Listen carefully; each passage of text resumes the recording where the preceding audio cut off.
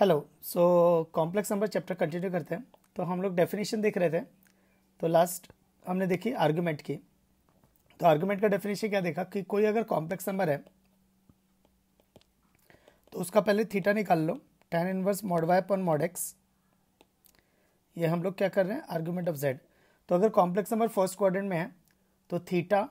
plus two n pi argument होगा complex number अगर fourth quadrant में तो minus theta plus two n pi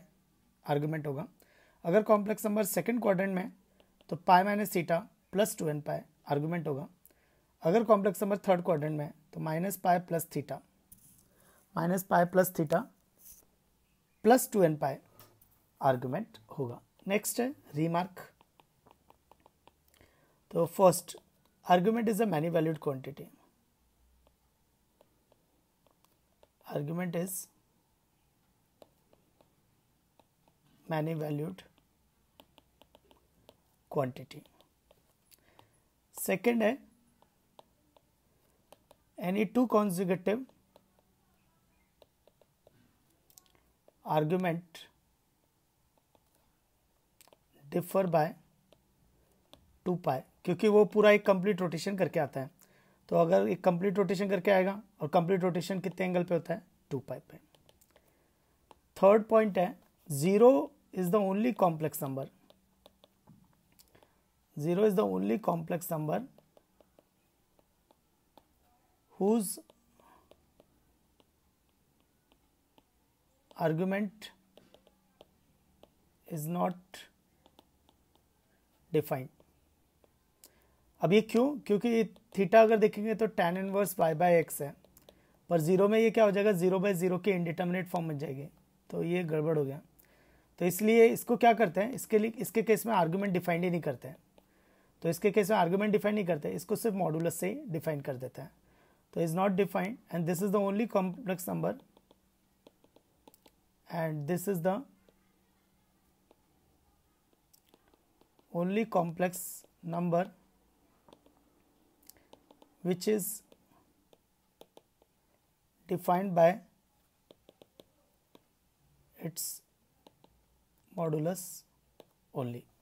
तो ये सिर्फ अपने मॉडुलस से ही डिफाइंड हो जाता है फोर्थ पॉइंट अगर कोई पॉजिटिव प्योरली रियल नंबर है तो अब पॉजिटिव अगर प्योरली रियल नंबर है तो वो कहाँ पे लाई करेगा पॉजिटिव एक्स एक्सेस पर पॉजिटिव एक्स एक्सेस पर और पॉजिटिव एक्स एक्सेस पर तो वहाँ एंगल क्या आएगा even multiple of negative purely real number है तो नेगेटिव एक्स एक्सिस पर तो odd multiple of pi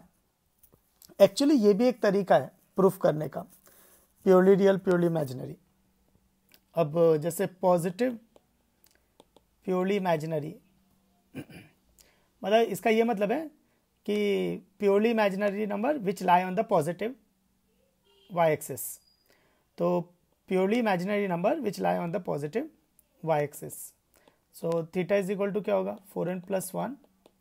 pi by two अगर negative purely imaginary negative purely imaginary का मतलब ये है कि वो प्योरली इमेजनरी नंबर जो नेगेटिव वाई एक्सेस पे लाई कर रहा है so theta equal to four n plus three pi by two तो ये भी एक तरीका है प्योरली रियल और प्योरली इमेजनरी प्रूफ करने का कि अगर जिसके आर्ग्यूमेंट्स ये है तो वो प्योरली रियल और जिसके आर्ग्यूमेंट्स ये हैं वो प्योरली इमेजिनरी नंबर होगा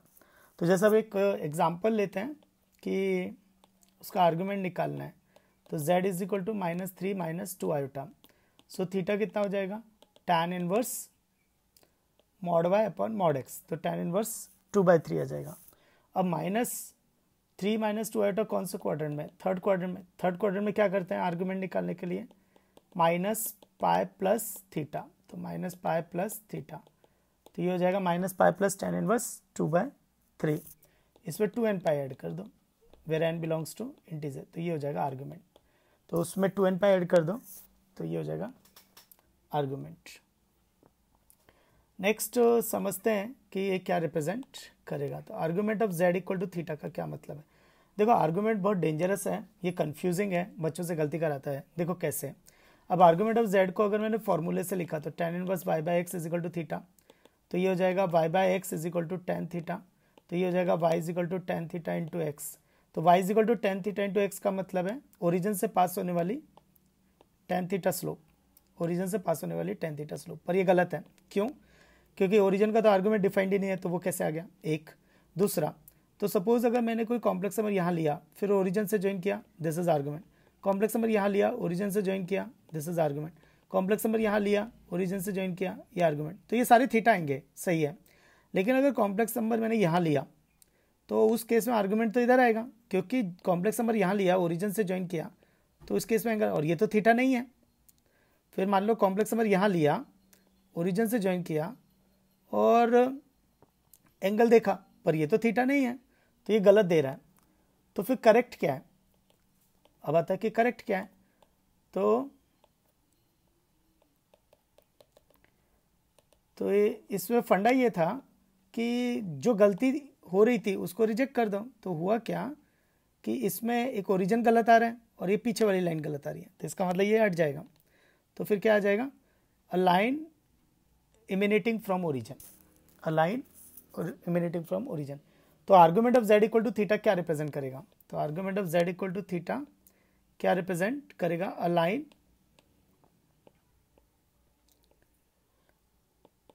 तो argument of z equal to theta मतलब वो सारे कॉम्प्लेक्स नंबर जिनका आर्ग्यूमेंट थीटा है तो argument of z equal to theta का मतलब है वो कॉम्प्लेक्स नंबर जिनका आर्ग्यूमेंट थीटा है तो तो लोकस क्या आएगा रे तो ये एक रे होगी तीन चीज़ होती है एक होता है लाइन एक होता है रे और एक होता है लाइन सेगमेंट तो लाइन में क्या होता है वो दोनों तरफ से इनफाइनाइट को जाती है रे में क्या होता है एक तरफ से रुक जाती है और इनफाइनाइट को जाती है लाइन सेगमेंट में क्या होता है वो दोनों तरफ से रुक जाती है So ray originating from origin making an angle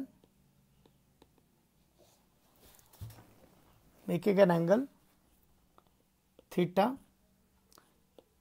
with positive real axis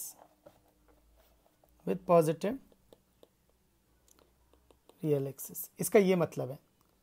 तो फिर एक एग्जाम्पल से समझते हैं तो argument of z equal to pi by four का क्या मतलब होगा एक वो लाइन जो ओरिजिन से पास हो रही है एक लाइन जो ओरिजिन से पास हो रही है और पाई बाय फोर एंगल बना रही है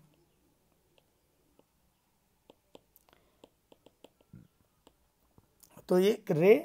एक रे जो ओरिजिन से पास हो रही है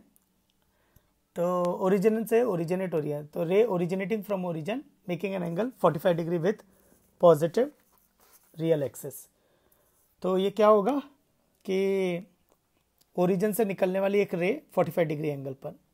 नेक्स्ट तो argument of z equal to minus three pi by four इसका क्या मतलब है तो रे जो कि ओरिजिन से निकलेगी और minus three pi by four angle बनाएगी तो ओरिजिन माइनस मतलब एंटी क्लॉकवाइज uh, तो माइनस मतलब clockwise three pi by four तो minus three pi by four यानी क्लॉकवाइज में minus three pi by four angle बनाएगी तो ये वो सारे कॉम्प्लेक्स नंबर होंगे ये वो सारे कॉम्प्लेक्स नंबर होंगे जिनका argument minus three pi by four होगा ये वो सारे कॉम्प्लेक्स नंबर होंगे जिनका argument minus three pi by four होगा अब थोड़ा सा और लेवल बढ़ाते हैं तो fifth point six point fifth हो गया था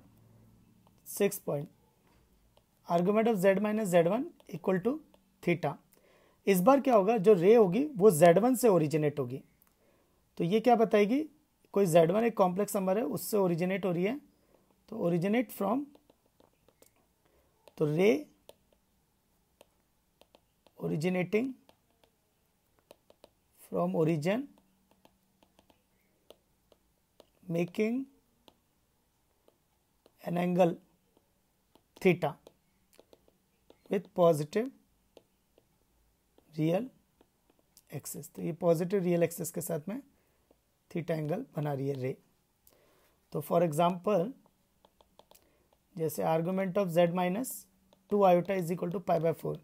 तो इसका क्या मतलब होगा इसका मतलब होगा जेड वन जेड वन इस केस में क्या हो गया टू आयोटा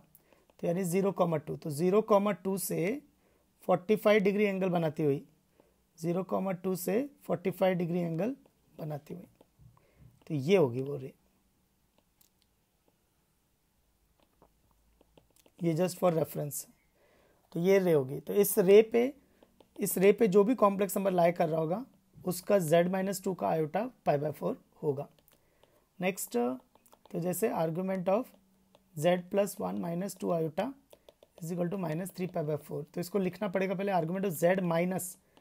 z one पे की फॉर्मेट में तो जेड माइनस जेड वन की फॉर्मेट में लिखना पड़ेगा इसको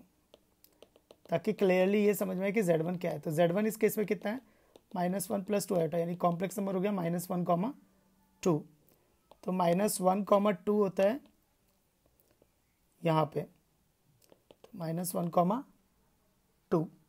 तो ये क्या कर रहा है कि वो कॉम्प्लेक्स नंबर जिसका जेड वन से